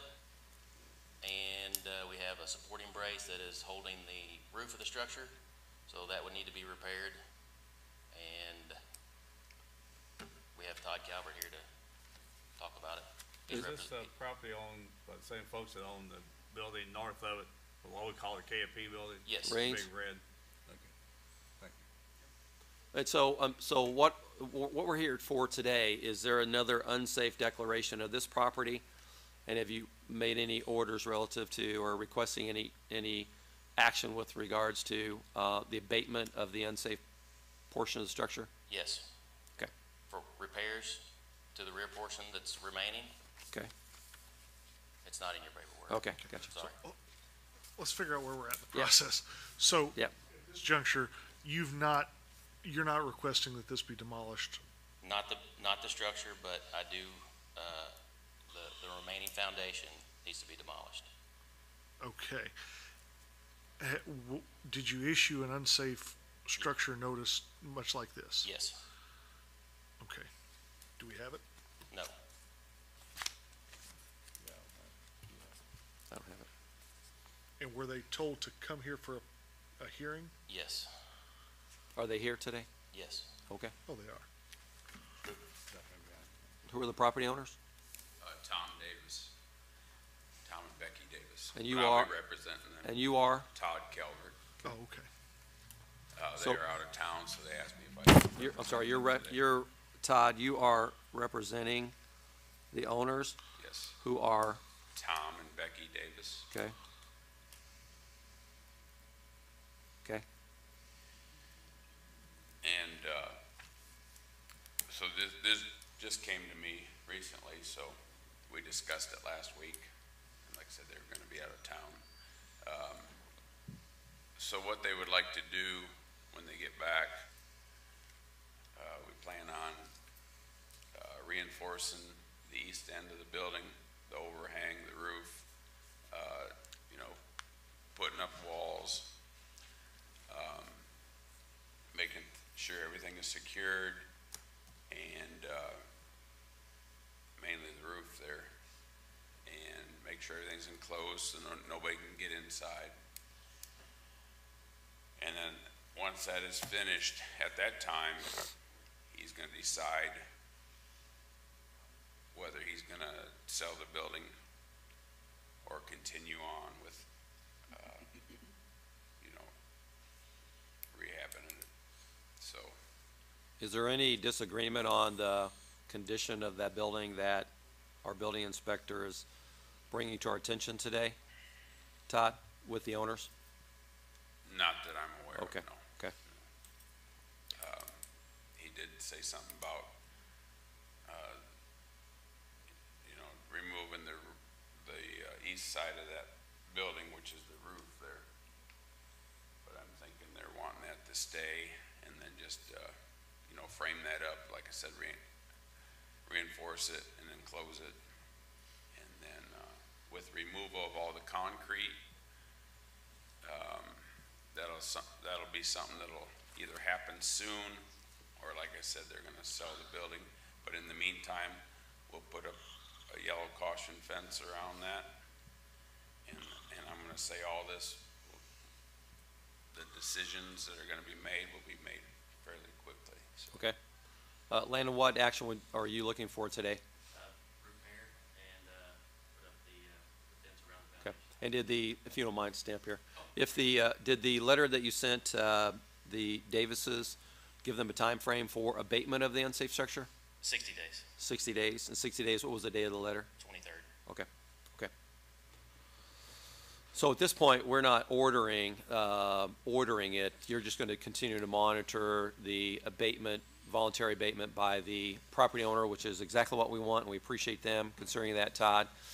And um, uh, doesn't seem like there's any specific action other than informing the board today of the unsafe uh, structure, uh, and we'll continue to monitor this and work. Our goal, I've, always, is to work with the property owners on a plan to voluntarily abate unsafe uh, aspects of these properties, and we appreciate them doing that, Todd. Right, right. Yeah, they're, they're good people. They've spent a lot of money in town here and they will take care of that issue, so. Okay. Thank you both. Thank you. Appreciate it. Thank you. Okay, um, moving on to READI contracts. Got it. Nope, did I miss it? Wait, wait a minute. We're READI contracts first. Oh, okay. ready. Yep. Let's do it first. There we go. Hi, Nicole. Hello, good afternoon. Good afternoon. Uh, You should have three contracts um, in front of you. They're relatively similar. Uh, I'm hoping that I have them in the same order you do. Uh, The, all three are for READI projects, uh, Hanover, uh, Madison Connector Trail, uh, the Indiana Music City Amphitheater parking improvements, and the Ohio Theater. Uh, This contract is for us to receive a grant uh, from the, our Southern Indiana Regional Development Authority through the READI Initiative. Uh, All the contracts the same except for the amounts. Uh, We would receive uh, $440,000 for the Hanover Madison Connector Trail, 238,000 or sorry, two hundred thirty thousand, eight hundred seventy-four dollars for the Indiana Music City Amphitheater parking improvements, and two hundred and fifty thousand dollars for the Ohio Theater. Just asking for approval from this board to enter into these, uh, sub-grant contracts. I would just add that uh, these are part of Destination Madison plans. That's going to create a significant multiple of investment relative to the grant.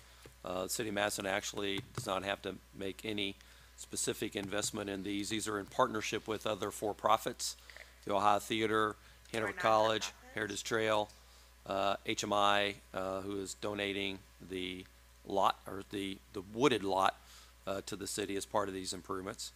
And this is the same grant agreement that we executed for the first two Destination Madison plans, Gateway and, uh, Mulberry Street Arts Corridor and Comfort Station, is that correct? Yes, that's correct. I'll make a motion, we approve the, uh, three, uh, READI contracts. I'll second that. We'll open up for discussion. Any comments or questions?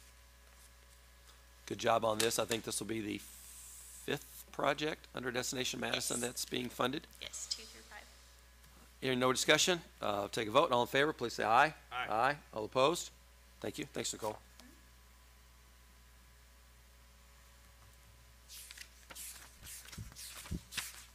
We'll move on Pace Extension twelve oh five. Ms. May. Yes, I have uh, one PACE extension. Scott Murphy, on behalf of Harvest Properties, is requesting a 12-month extension for his PACE grant at 1205 West Main Street. Uh, This was a dilapidated structure, but he has not received any of the $25,000 that were awarded to him. He's already started work, uh, but needs the extension to complete. The new deadline would be May 10th, 2024. I, I had a question on this, and I'm glad that, you know, the work is being done. Uh, But you're saying work has started? Yes, yep, they have uh, gutted the inside and they're preparing uh, documents for their building permit. Because the only reason I'm asking is that it's a long extension that, you know, earmarks one of our large, the largest amount that we can grant for, you know, a period of a year. Um, and what I would hope is that there'd be active construction going on such that this deadline is the end date, not, you know, a near beginning date for the structure. Yeah, no, the entire inside has been uh, gutted to the frames, uh, so he's preparing uh, the drawings for the building permit. Um, I have no reason to be concerned about him completing the project before the deadline. Okay. Gonna be a nice, uh, addition to Main Street there with those improvements. Um, before we get to, to discussion, it, any, uh, I'll make a motion that we approve the extension, um, and then we'll open up to public comment. I'll second the mayor's motion. Okay, no pu- public comment. Anybody here wish to speak on this application? Lucy DiTillo, 1048 West Main. Um, This is in my district, and I would ask that the owner um, maintain the outside of the property if you're going to extend it out another year.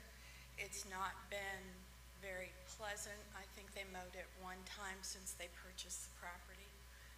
The neighbors have complained about that, and I think they have a legitimate complaint. I think that's a fair comment. Could you talk with them? Yes, I'll uh, mention that uh, when I let him know what the outcome So we could put a is. proviso, uh, I'll amend my motion, uh, to approve the extension, subject to, uh, maintaining the exterior, exterior appearance of the property in a orderly fashion, subject to our building and planning and building inspector's discretion. I'll second the mayor's amended motion. Okay, any additional discussion or conversation on that? Lucy, will that address your concern? Okay. All in favor, please say aye. Aye. All opposed? Thank you. Thank you. Thanks, Cole.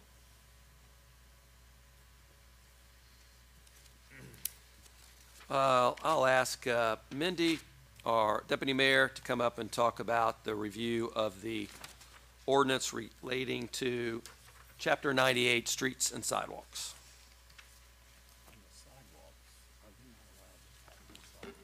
No, we're not allowed to park on sidewalks. People doing it? Yeah, we ran. Yes, I'm sorry. Go ahead. Good morning, Board. Good morning. So, uh, in looking at, I mean, obviously, we have a lot of road cuts and, um, utility work that are going on all over town. Part of that is related to the many projects we have going on. But we also have, um, private work that goes on for homeowners. We have, uh, work that goes on for the city and road paving, our water utility, sewer connections, things like that. So, um, we want to take another look at the process for that, and especially in terms of notification. Um, There are a lot of times that we're not aware work is going on, and that might cause a closure to an alley or a street, or interrupt someone's access to a sidewalk. So uh, in taking another look at the ordinance and what our process is, um, we just, we first realized that we were referencing a 1966 ordinance, which um, clearly might be time to take another look at it. Um, the permit fees and, uh, the bonding required and things like that. So, um, what we would like to do is take a look at it, make some recommendations, and come back at the next Board of Works meeting for how we would like to see the process work through the planning office. So Mindy, what you're referring to is this chapter in our code, Streets and Sidewalks, that essentially says you can't do anything to a public street or sidewalk or alley unless, unless you receive a permit to do it. And then to repair it also has to follow a process. And I think that what we've seen all across town is, uh, A, millions of dollars invested in roads and sidewalks, as well as millions of dollars invested in uh, historic preservation and work being done on, on private homes and structures and commercial properties. But the permit and backfill process needs to be, um, essentially enforced and improved. Is that correct? That is correct. And um, we are looking at those, we're going to have to make a decision on what, how we want those to be properly backfilled. Uh, So we're starting to have those meetings. We're going to involve the engineers. And INDOT has some guidelines that they use for their highways and roads when they are cut into. So we'll be taking a look at those um, guidelines as well and need to come up with, you know, what is our standard for having, I mean, cuts are gonna happen, uh, lines break and, and need to be repaired, and there's updating structures, infrastructure. But how those get put back together, we need to decide, and that will make our road surfaces smooth like they're supposed to be, even though they've been cut, and that is not Yeah. happening right now. And our water and sewer mains are under the roads sometimes, uh, and the meters are in the sidewalks. So there's a lot of excavation work happening across town for improving, you know, that utility service. But what it does say is that, you know, any utility or private contractor excavating or digging uh, in any street or alley or sidewalk sh- should get, a- first obtain a permit from the building inspector to make the excavation. We want, we've got to work proactively with our contractors to make sure that they're aware of that, because I'm not sure they are, because of all the work that's happening that, and the story I was sharing with you over the weekend was, I was stopped by a business, you know, um, expressing concern that we had closed an alley, that it was impacting their ability for trash to be removed, and we weren't, we didn't close the alley, and we weren't the ones doing the utility work. So, uh, we need to bring this issue to the forefront to protect our investment in our, in our streets, but also to make sure that the, uh, there's a good notification process and that the backfill procedures doesn't result in longer-term damage to the roads because the board here, which is why we're bringing it to the board, it prescribes the procedure to fill the excavation. And there are some best practices from LTAP that the state utilizes, and we can bring those in at the next meeting for discussion. But, you know, until we get this modernized and resolved, we need to make sure everybody knows they need a permit Yes. for any of this excavation, correct? To start with, Okay. yes. And then on us, another important piece of it to me is the inspection process at the end. Um, When the work is completed, before that hole is backfilled, we need to be out inspecting that and making sure that it's getting, putting back to the specs that we decide. We have plenty of instances of essentially craters in our road because of that lack of procedure on that, that will protect, protect the road. And then eventually it forces us to come back in and- and do the work ourselves at taxpayer expense. Correct. So I think good communication will help this process all around. Um, And I'm glad you're bringing it to uh, our attention, and this will eventually need to make its way through to city council in order to amend the ordinance uh, and update this, because this is a a 1966 local ordinance that we're dealing with. It's a good year, but Pick up sticks, as Tammy would say. There's one section in here that says do not throw debris or anything next to the curb, it might hurt the horses. See? Yeah. Did it say that? thinking, It actually does. Might hurt the horses. Yeah, Yeah. don't, don't do that, so, uh, we probably just need updated. Anything else, Mindy? That's it. Thanks for bringing that to our attention. Yep, thank you. Uh, I don't have a whole lot to add on the mayor's comments, other than, um, there's some work happening on Hanover Hill today and tomorrow, so we have a partial lane closure there. Ask everybody to be safe. We're doing borings for our future construction project up there. And then we'll also have some additional lane closures in the future to do tree work that's adjacent to the road that we need to take care of. As you know, uh, that portion from Jefferson Street all the way to the top of Hanover Hill was transferred from the state of Indiana as a state highway to the city of Madison as a local road, and now we're responsible for, for maintaining it. Um, the City of Madison State of the City address will be Thursday at five-thirty at, at, uh, the Fairfield. Invite everybody in the community to attend there. We'll hear a lot about our achievements for twenty-two, but also where we're going in two thousand twenty-three and beyond. And then, uh, Mindy, I, I don't, I should have asked you while you were here, but any update on the spring CCMG, uh, application? And CCMG is a state matching program that we utilize for uh, addressing, you know, our poorly rated roads across the community. Thank you for asking. We submitted our application for that for the spring work. I think we ended up with about a one point two million dollar application.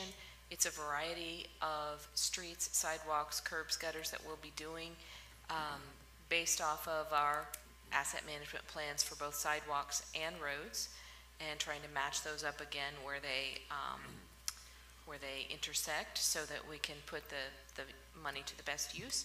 We should hear about that, um, late this month or early in April about that award. Thank you. And then uh, tomorrow night, at City Council will be swearing in two new Madison Police Department officers. So we're always, uh, it's always a great experience to welcome new officers to the police department and the role they play in our community.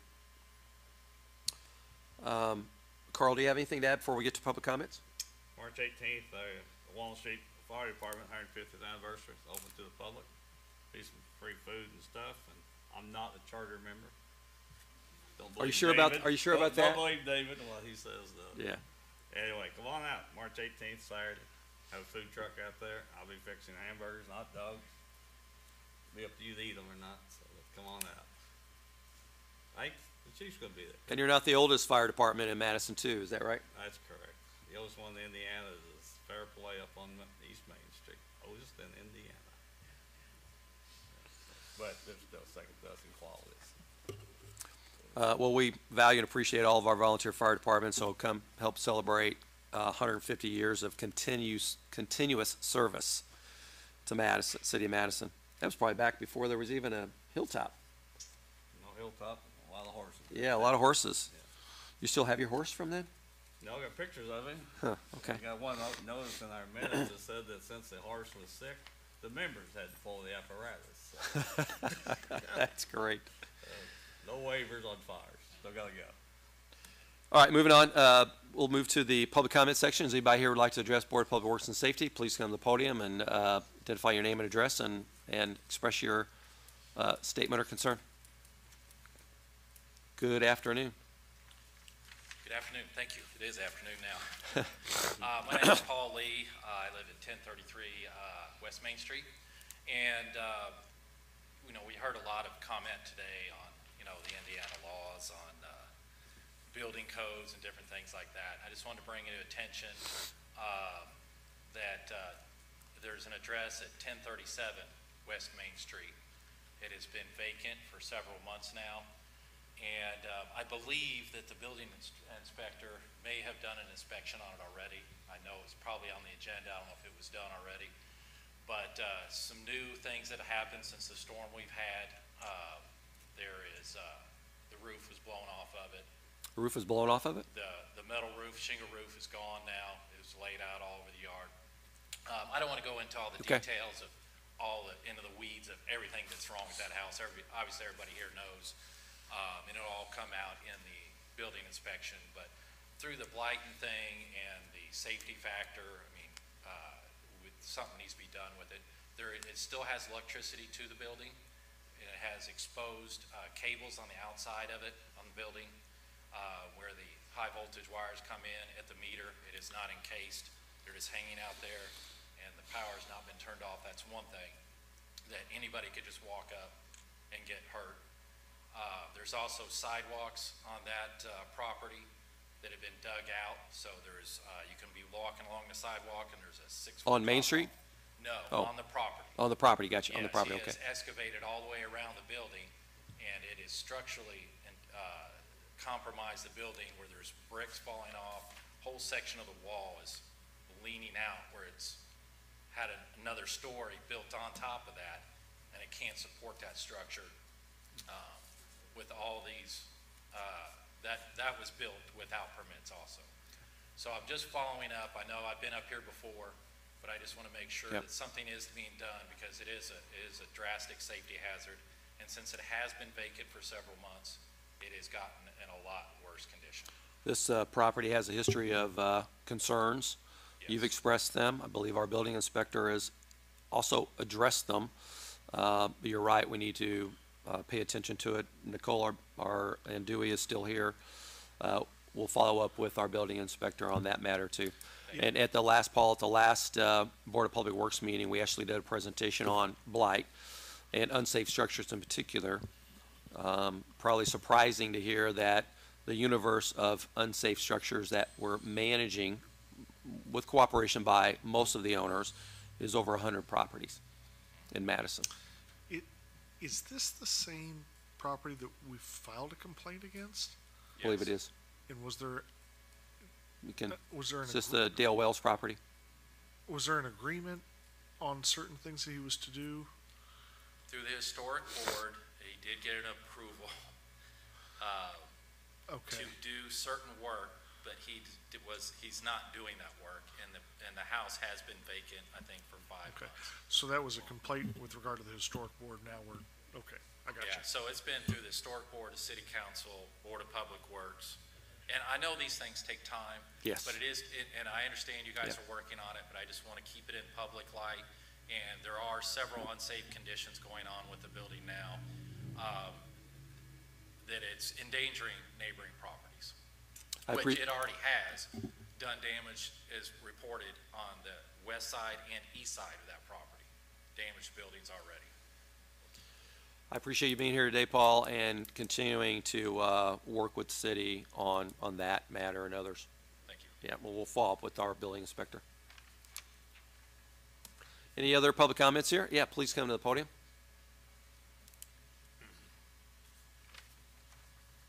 Yeah, good afternoon. I'm Sean Pennington.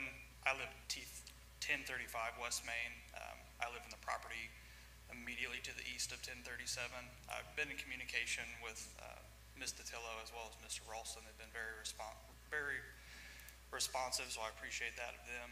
Uh, the storm, most recently, I could hear pieces of the roof that were, and pieces off of that property were hitting my property.